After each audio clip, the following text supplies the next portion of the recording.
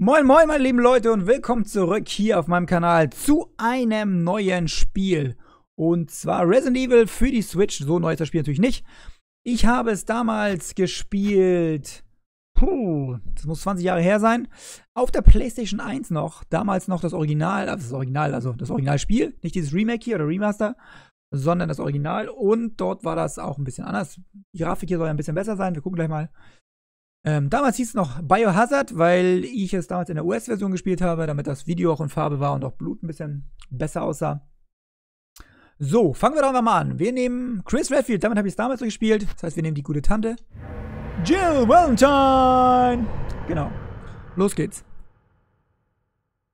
Inhalt wird gespeichert. Bitte schalten Sie Ihre Konsole nicht aus, wenn Sie nicht wollen, dass diese zerstört wird. so, es müsste auch ein Intro kommen. Schauen wir uns das mal an.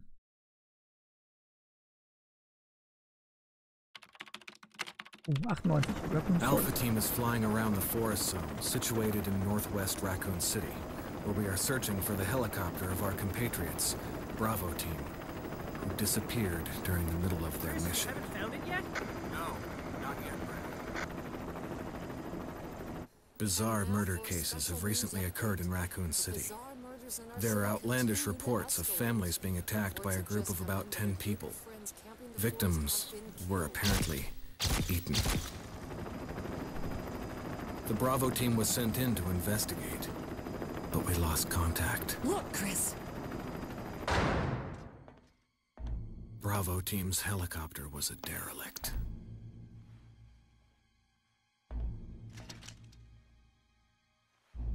Save for the remaining body of Kevin.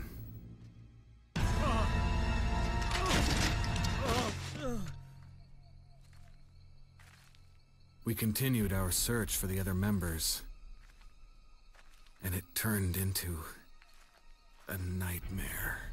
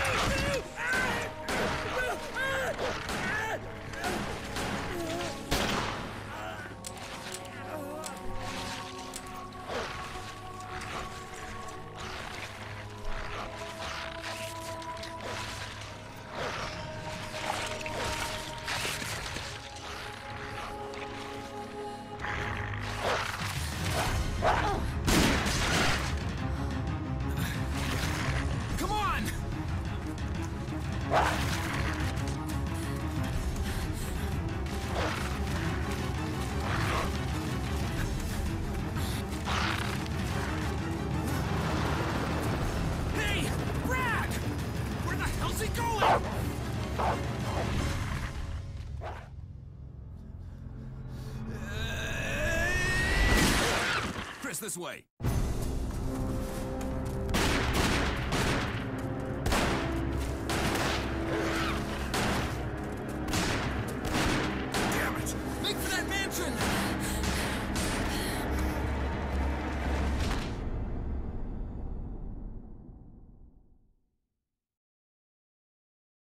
Willkommen Überlebenshorror.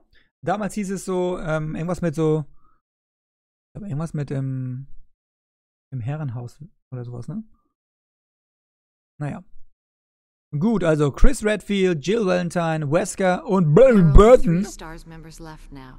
Oh. Captain Wesker, Barry, and myself. We don't know where Chris is.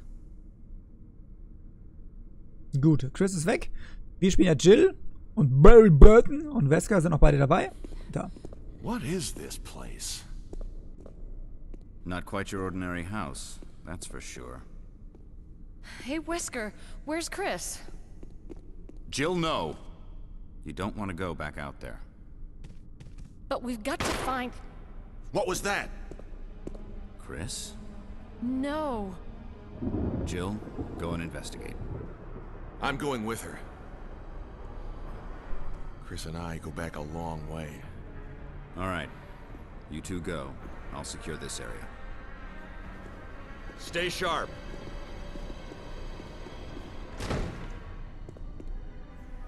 ist geil, ne? Der Wesker ist ein richtiger Mann. Schickt erstmal die Frau los. Du, Jill, du bist als erstes. Ja, so ist es, ne? Wenn man das Kommando hat.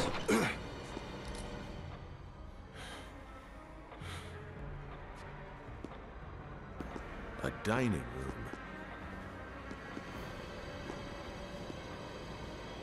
So, wie man sieht, liegt hier schon ein Farbband. Direkt mitnehmen. Zack. Das brauchen wir zum Speichern, für Leute, die das Spiel nicht kennen. Ähm, können wir hier an der, an der Maschine gleich machen. Gucken wir mal, wie viele Dinge hat. Drei Stück haben wir davon.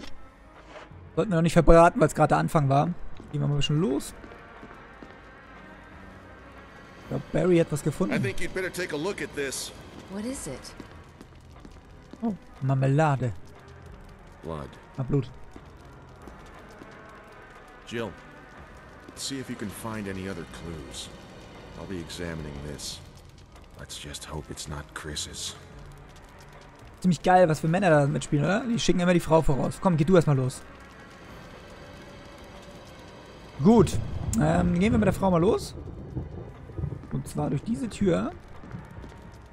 Also, das Spiel ist vor 20 Jahre her, als ich es gespielt habe, weil ich habe wirklich nur auf der PlayStation 1 gespielt, sonst danach nicht mehr. Ähm, aber ein paar Sachen weiß man natürlich noch. Ich kenne mich nicht mehr, ich kenne den ganzen Ablauf des Spiels kenne ich garantiert nicht mehr. Aber so ein paar Dinger werden mir zwischendurch mal wieder einfallen. Und gerade der Anfang des Spiels liegt mir sowas von Erinnerung.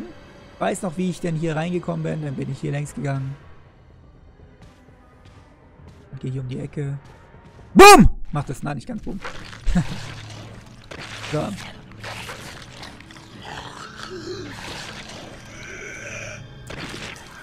Ah, ist noch schön das alte Video.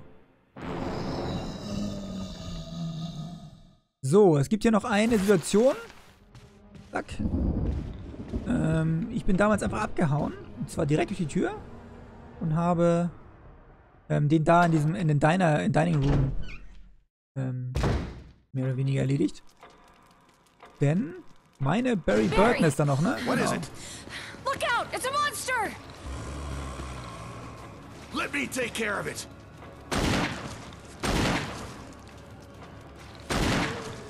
Zumindest sparen wir Munition. Und Munition ist wirklich, wirklich, wirklich sehr wichtig in dem? Spiel. I found Kenneth killed by this thing. Let's report this to Wesker. Ach so, das habt ihr gar nicht vielleicht am Anfang gar nicht mitbekriegt, aber ähm, den Schwierigkeitsgrad habe ich jetzt den mittleren genommen. Ich glaube, es gab leicht, normal und schwer. Glaube ich. Ähm, äh, es steht nicht, steht nicht leicht, mittel, schwer, da steht irgendwas anderes, ne? Aber ich habe jetzt den mittleren genommen. Mal sehen. Wie sich das so verhält mit Munition und Finden und Kräutern und ähm, auch wie viele Schüsse man braucht. Mal sehen. So. Berichten wir über Wesker. Der dürfte hier draußen nicht zu finden sein. Wesker! Wesker! Jill, help me look for him. But let's not leave this hall. Good idea. Gut, suchen wir ihn mal. Also wir können hier runtergehen. Wir dürfen ja nicht hier rausgehen aus, dem, aus der Halle, sagt er ja extra, ne? So, gehen wir hier längs.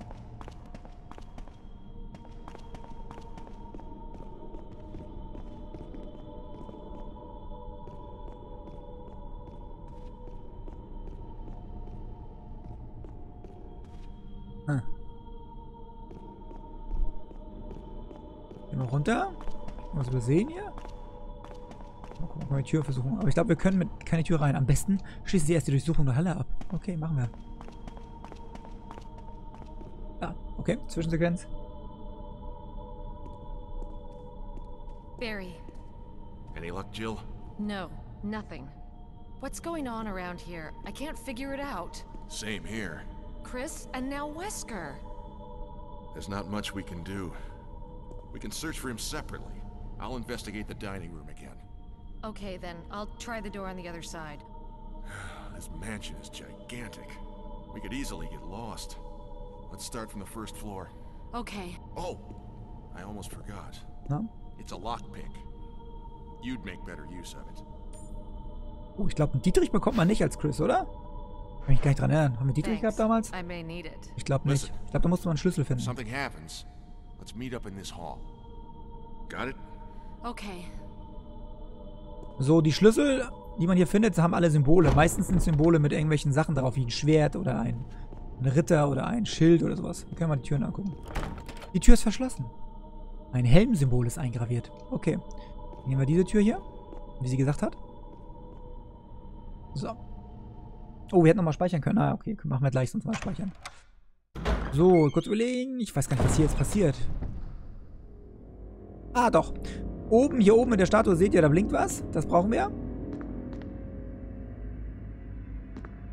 Ein Porträt hängt an der Wand. Es scheint fast, als würde sie es sie beobachten. Okay, diese können wir jetzt zur Seite schieben. Ähm. Das machen wir aber nicht. Wir machen mal erst so. Dann runter. Dann schieben wir das ganze Ding mal. Hin, um da oben das blinkende Symbol rauszuholen. Was ist denn da oben drin nochmal? Das weiß ich wirklich nicht. Vielleicht ein Schlüssel? Ich weiß es nicht mehr. Da ist eine Karte von der Villa Erdgeschoss. Mitnehmen? Ja. Aha. Das ist natürlich sehr praktisch. Vollständig verbleiben. Wie siehst, haben wir nur die Halle erstmal erkundet, den Rest noch nicht. Aber gut zu wissen. Wir haben die Karte von Villa bekommen. Raumbronn, okay. Wieder runterhüpfen. So. Hier ein kleiner Trick. Den könnt ihr... Oh nein, runter, runter, runter. Hier ein kleiner Trick. Wenn ihr diese, Kommo wenn ihr diese Kommode schiebt. Die schiebt man ja eigentlich dahin, um das zu sammeln, ne? Aber man kann das auch dahin schieben. An die Wand ran. So. Und dann einmal nach rechts schieben. Kein super Trick jetzt, ne? Aber pass auf, dann geht ihr rein. Und nicht wundern, warum ich das gemacht habe. Das erkläre ich euch gleich. So, ah, guck mal, hier findet man, was ist das? Ein Dolch. Dolch mitnehmen? Ja. Mit Verteidigungsobjekten wie den Dolch können sie vorübergehend ausweichen, wenn ein Gegner sie packt. Sie können jedoch nicht entkommen, wenn der Gegner sie von hinten packt. Um ein Verteidigungsobjekt auszurüsten, gehen Sie ins Statusbildschirm und wählen Sie ein Objekt im Menü Verteidigungsobjekte. Wählen Sie dann den Befehl Ausrüsten. Eingestellt, so müssen Sie zum Verwenden der Verteidigungsobjekte äh, ZL gedrücken. Okay. Gut. So. Gehen wir mal rein. Verteidigungsobjekte. Was haben wir da? Gut, da haben wir, äh, ja, da haben wir das Ding ja, ne? Das Schwert schon ausgerüstet. Was ist das hier? Haben wir gar nichts von, okay. Was war das? Okay, gut. Haben wir ausgerüstet. Ähm, wenn mich nicht alles täuscht, werden wir jetzt kurz, glaube ich, angegriffen. Ah. Er. Oh, oh. Also, man kann den natürlich jetzt versuchen zu beballern gleich. Machen wir aber nicht. Versuchen zu entkommen. Oh. shit. Aber wir haben ja den Dolch. Den rammt. Ah, guck mal. Perfekt. Vorbei. Raus. Und jetzt schnell die Kommode davor schieben. Mal mehr schieben. Genau. Lasst den mal so. Wir wählen ganz gemütlich unser Messer aus. Und warten mal, bis er kommt. Dann kriegt er ein paar von uns. Sehr. Und hört auch die nervende Musik auf. Perfekt, das Messer können wir, können, wir, können wir aber nicht wiedernehmen. Das ist natürlich ein bisschen schade, aber naja. Gut. Gehen wir hier mal rein. Tür ist verschlossen. Ein Schwertsymbol ist in das Schloss graviert. Okay. Können wir nicht. Angucken. Porträt und Fotos hängen. Sie sehen aus, als würden sie gleich zum Leben erwachen. Gut, wir gehen raus.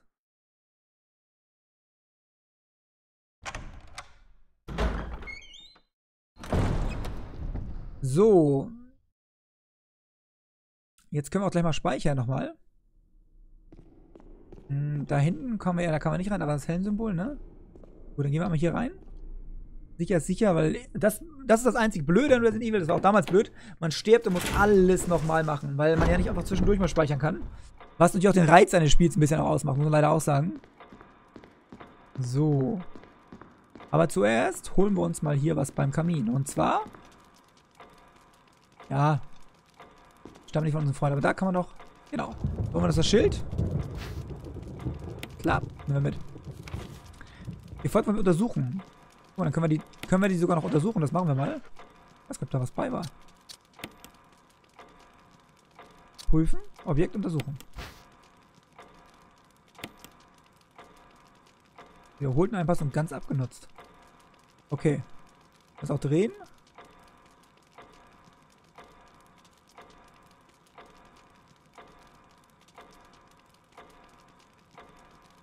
Ja. Wird also öfters mal, wurde öfters irgendwo reingetan.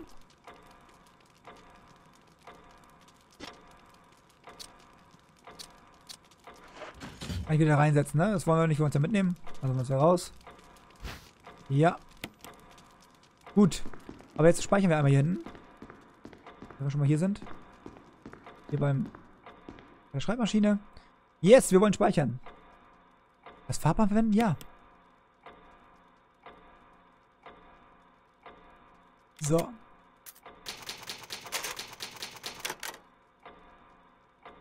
So. Speichern beendet. Super. Gut.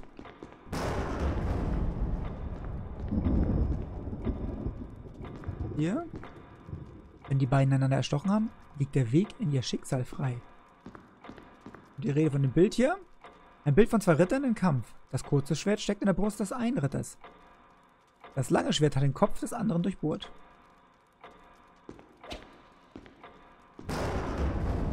Komm. Ah, das macht keinen Sinn. Ähm...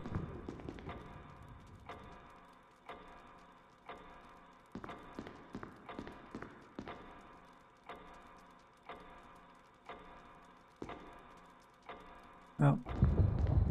Gut, dann gehen wir jetzt erstmal. Ja, wir können auch hier hinten die Tür noch gehen. Da haben wir noch nicht alles erforscht, glaube ich, ne? Oder? Glaube nicht. Können wir hier durch?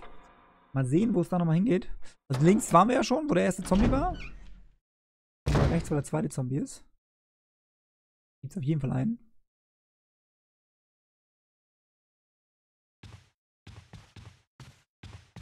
Wieder schon. Da kommt auch schon angelaufen. Okay, lass uns mal hier, müssen wir glaube ich die Waffe mal nehmen. Denn ich bin kein Chinese oder Japaner damit. Ja.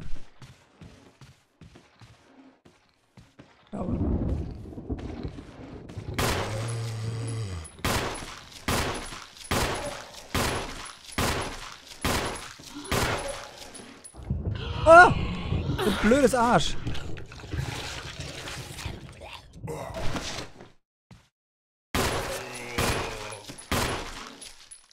Oh, das gibt's doch gar nicht.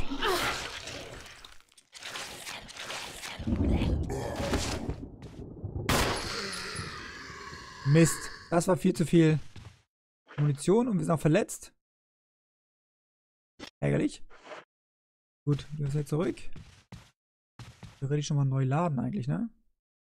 Und hier sind. So. Die müssen wir anders killen. Das, das ist ja blöde. Wir wollen nicht so viel Leben verlieren. Ich weiß nicht, ob es jetzt besser wird, wenn ich es nochmal nachlade. Machen wir trotzdem mal. Eigentlich braucht man das, glaube ich, acht Schüsse für den. Also. Ich habe jetzt da wirklich irgendwie zwölf in ihn reingeballert.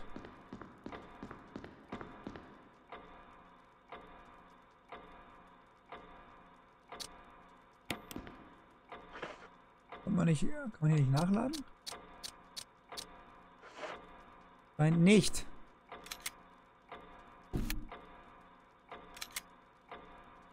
Hm.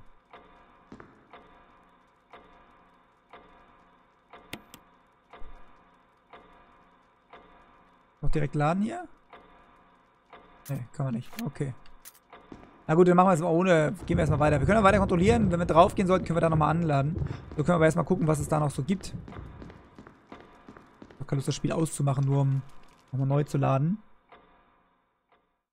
Sind leider schon verletzt. Ärgerlich für uns. Und drei Schuss ist auch nicht gerade das Gelbe von Ei.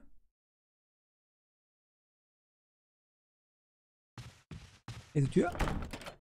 Verschlossen von der anderen Seite. Hier ist noch eine Tür. Tür ist verschlossen. Ein Rüstungssymbol ist eingraviert. Okay. Ah, hier geht's noch links. Ah, hier ist ein Fahrstuhl. So, von diesem Stock aus können sie ihn anscheinend nicht betreten. Ah, okay. Geht's runter in den Keller? Ah, hier ist noch eine Tür, okay. Die Tür ist verschlossen, ein Schwertsymbol, okay. Wir haben überhaupt keinen Schlüssel, noch nichts. Das heißt, wir können nicht viel machen. Hoffe, dass wir irgendwann einen Raum mal finden mit der Truhe. Das ist nämlich sehr praktisch. Aber das kommt wahrscheinlich erst noch.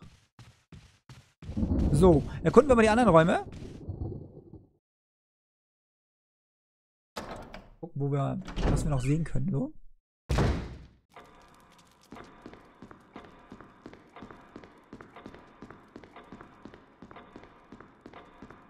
So.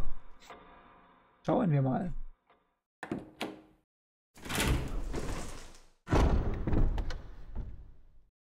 Ich werde jetzt keine Spoiler mehr machen. Ich kann mich auch nicht an alles erinnern, muss ich zugeben. Ähm, aber ich mache mal keine Spoiler mehr. Huch, wir runter. Erstmal gehen wir runter. Da war ja auch nur eine Tür. Die am einfachsten auch.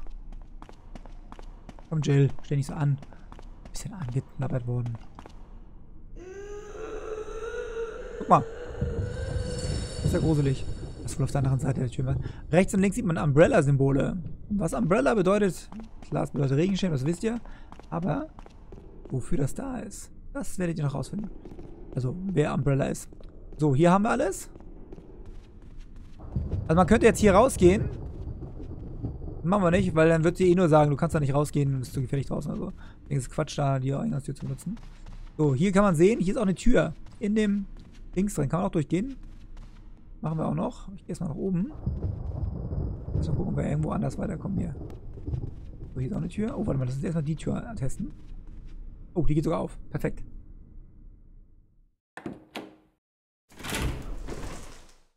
Damals war man wirklich... War man wirklich vor jedem... Vor jeder Tür hatte man Panik. Weiß nicht, von wo, der jetzt kommt, von welcher Seite. Ah, okay. Hier links. Legt ein Dolch. Nehmen wir mit. Auch schon ausgerüstet gleich? Ja, ist... Eine Tür. Die ist von einer Seite verschlossen. Auch eine Tür. Die ist verschlossen. Ein Schwertsymbol ist eingraviert.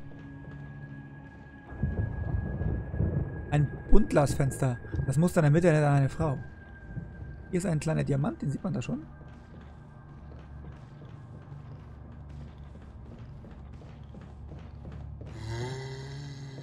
Weiß jetzt nicht, von wo er kommt. Wir müssen doch kurz testen. Karl-Heinz. Wo schiebt mir den denn nochmal hin? Was habe ich? Ich habe keine Ahnung. Wir können ihn auf jeden Fall schieben. Ich glaube in die andere Richtung.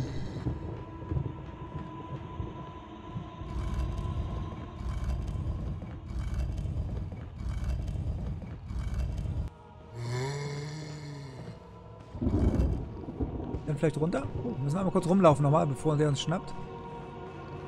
Machen wir mal. Oh, da kommt er schon. Das die schnellsten, die Zombies, ist ja schon mal ganz gut. Aber es gibt ja noch andere Sorten von Zombies hier nachher. Ich bin hier, komm hierher. Da kommt er schon.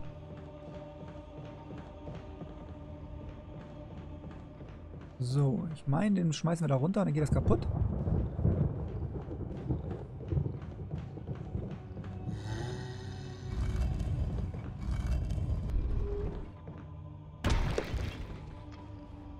Nicht runter, ne? Nee.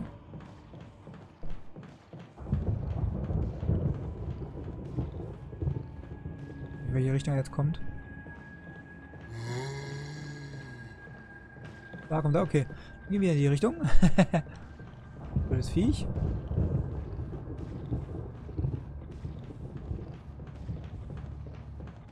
Noch ein Fenster, warte mal. Man nichts machen. Auch nichts, okay. Aber hier geht nichts mehr. Ne, dann gehen wir hier raus. Wo wir keinen anderen Schlüssel für die Tür haben, können wir auch gar nichts machen da. Ist ja auch okay für uns.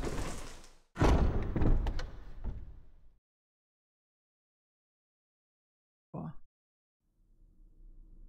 Und die Tür trotzdem mal testen hier? Die ist von der anderen Seite verschlossen. Natürlich ist sie das. Ich kann von Dunkelheit und Nebel nichts erkennen. Oh. Was ist mein Schatten? ja, schon, was läuft da längs? Das Öl in einer großen Rahmen. Die Farbe ist trocken und rissig. Hier ist verschlossen. Ein Rüstungssymbol ist eingebaut. Zeigt er das eigentlich auf der Karte an nachher? Habe ich getestet. Testen wir mal. Zeigt mir, zeigt mir leider nicht an, welche Symbole da drauf sind. Das ist natürlich schade. Das ist natürlich noch cooler. Aber naja. Ein ist eingraviert. Okay. Hier oben können wir jetzt nicht so viel mehr machen. Wir gehen jetzt mal wieder runter. In den Raum da rein. Oh. Schreck bekommen durch sie. Und sie ist Jill auch ein bisschen verletzt. Und wir müssen hier rein. Und gucken, was dieser blaue Diamant da macht. Erwartet uns jetzt keine böse Überraschung. Glaube aber nicht. Ah. Ein blauer Edelstein mitnehmen? Klar. Ein Edelstein würde ich immer mitnehmen. So, wir hauen gleich mal die Schreibmaschine an. Und ähm, dann war es das erstmal für heute. Hoffe, ihr seid beim nächsten Mal dabei. Und bis dahin, tschüss.